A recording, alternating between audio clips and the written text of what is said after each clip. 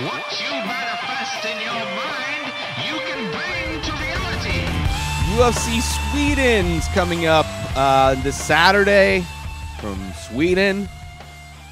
UFC mixed martial arts, headlined by Alexander Gustafsson versus Anthony Lionheart Smith. Uh, Smith coming off his loss to Jon Jones. Gustafsson wanting to fight for the belt again. So they matched him up. Smith was not looking forward to this fight. Uh, he wanted to take some time off, uh, but apparently his wife, according to his interview on Ariel Helwani's MMA show, uh, his wife convinced him that it was a good idea to take. I mean, business wise, it's good to strike while the iron's hot. You don't know how much he's going to be getting the shine. Uh, and he's losing it pretty quick after a loss to Jon Jones. Uh, so we'll see how that goes. My picks, however, I'm going with Alexander Gustafsson uh, for this one. I think just hometown, his boxing is. I just think. I think he's the more polished version of what Anthony Smith. Now, Smith survived five rounds against Jon Jones. Uh, so, you know, he's not an easy person to put away by any means. Uh, he throws heavy hands, so he could potentially clip Gustafsson, maybe put him down, maybe get a finish. I could definitely see Smith winning this fight. I don't think it's a shutout, uh, but I just think Gustafsson is just technically a little bit sharper um, and looked great. Aside from his loss to, I mean, DC and Jon Jones, he's like right up there in the cut uh, at the top of the light heavyweight division. So I'm looking forward to that. First three fights on this card, last three fights, I should say, are all light heavyweight fights, which is interesting uh, for a division that's kind of in a rebuilding period. It's like they're starting to get some interesting names in there, which is nice that you know Jon Jones is fighting some new people and not just kind of the the old guard that was at the heavyweight or light heavyweight division. Um, I've got Ozdemir over, over Latifi. I just think Latifi, uh, you know, ups and downs. I think he's towards the end of his career, if I'm not mistaken. Uh, against Ozdemir, who's an interesting guy who's looked great against a lot of people in the division, uh, and I just think he's gonna. I think he's gonna get it done against Latifi. Uh, Jimi Manuwa versus Rakic which I'm not too familiar with uh, Alexander Rakic. I don't know if I'm pronouncing that last name right. Uh, Jimi Manuwa, I believe, coming off of a loss, got knocked out. I want to say by somebody, um, but I got Manuwa. I just a big dude at the division, heavy hands, uh, and I just don't really know the other guy. So that's I'm kind of picking kind of guessing. This whole card, I mean, it's an ESPN Plus card, which is nice. The prelims are on ESPN two, but uh, so it's it's it's going to be decorated with a bunch of people from that side of the world, uh, which I'm not always familiar with. Some of these newer names. Uh, all of the the undercard looks fun too. There's some names on there, but uh, so I got uh, Jimi Manuwa the for the uh, that that fight, and then I got Amirkhani Makwan Amirkhani over Chris Fishgold in the featherweight division. I've got uh, or Demir Hadzo. No, I got uh, who do I have? Giagos versus Hadzovic in the lightweight division, and then I got Daniel Teymur over Bin Jo Sung Bin Jo in the featherweight fight in the main card of next week's UFC from Sweden. Uh, should be a fun card. Here's the thing I enjoy with these cards, like Brazil does it a lot. Just when they UFC goes to these different countries, uh, especially non pay per view cards, it's like watching an independent movie. Like you're gonna see, you're gonna, you're not seeing big stars. Maybe you'll see, you know, they're the headliner for sure. You're gonna know both those people.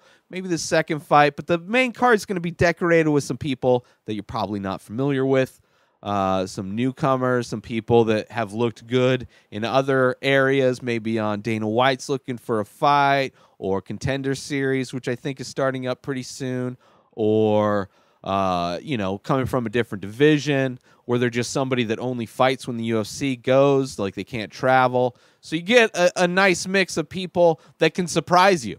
It's always fun to to watch one of these cards and be surprised.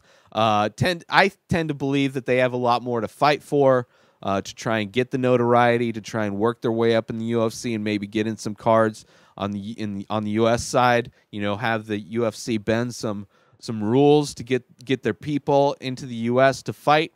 Uh, so there there is always that that they can be a lot of fun to watch, or it could be like Brazil, where like all the Brazilians lose and the crowd is just silent.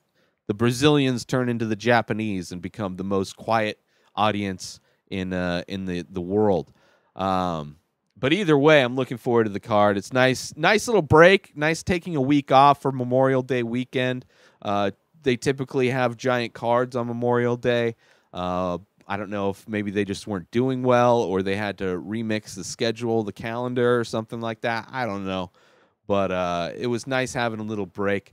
Uh, Rashad Evans recently was nominated or uh, is going to be entering the Hall of Fame, which I am kind of one of those people. I was not at all a fan of Rashad. Like his showboating in like when he was in the house, his showboating didn't like, and then his showboating once he. I mean, I kind of warmed up to the guy a little bit. I mean, he beat Forrest Griffin to get the light heavyweight title, which I was a huge Forrest Griffin fan. So when he beat him, I was not happy at all with that situation.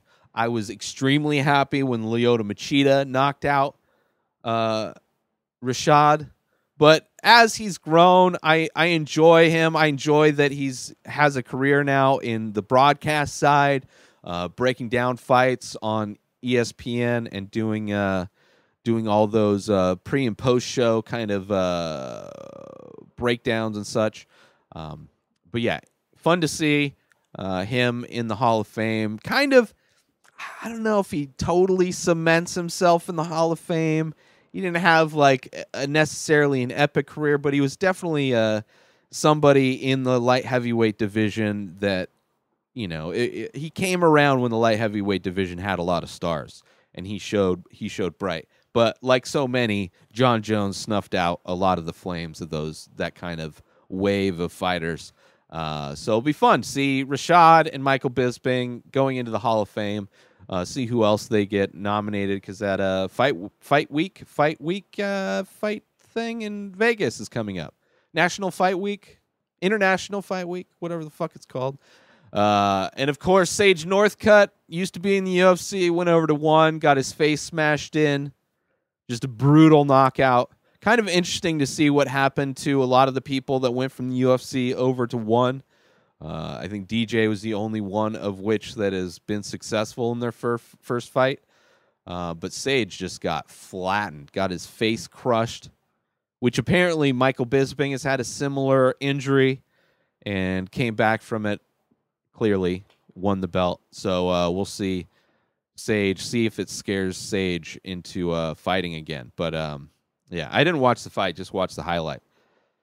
But uh, yeah, that's it. They made some interesting announcements for fights coming up, which I'm excited about. A lot of lightweight fights. Uh, we got a couple pay per views coming up with multiple belts on the line, both female and male uh, sides of the aisle, as it were.